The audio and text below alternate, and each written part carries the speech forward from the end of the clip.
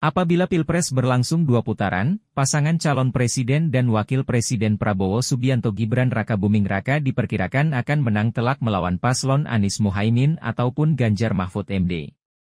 Hal itu diungkap oleh hasil survei Lembaga Survei dan Polling Indonesia, SPIN, yang baru saja merilis hasil survei teranyarnya berkenaan dengan dinamika elektoral nasional peta politik dan elektabilitas capres dan partai politik jelang pemilu 2024, Senin, 15 Januari 2024.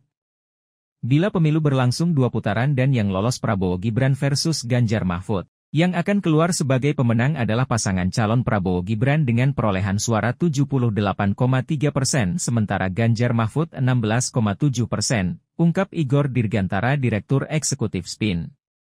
Begitupun apabila dalam simulasi putara kedua yang bertarung adalah pasangan calon Prabowo Gibran melawan Anies Muhaimin, paslon nomor urut 2 itu tetap menjadi pemenangnya.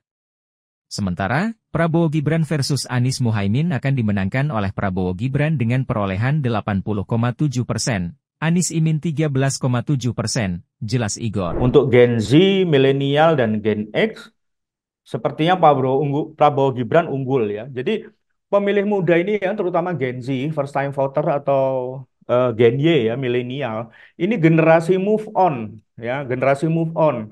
Eh, rekan-rekan media ya mereka nggak seneng tuh bicara-bicara masa lalu ya soal HAM apa itu nggak mereka nggak berkepentingan. Mungkin karena belum lahir mereka lebih senang masa depan. Jadi program-program misalnya dari Prabowo Gibran untuk menciptakan lapangan pekerjaan minum susu gratis makan gratis itu lebih bisa diterima ya. Jangan lupa subscribe ya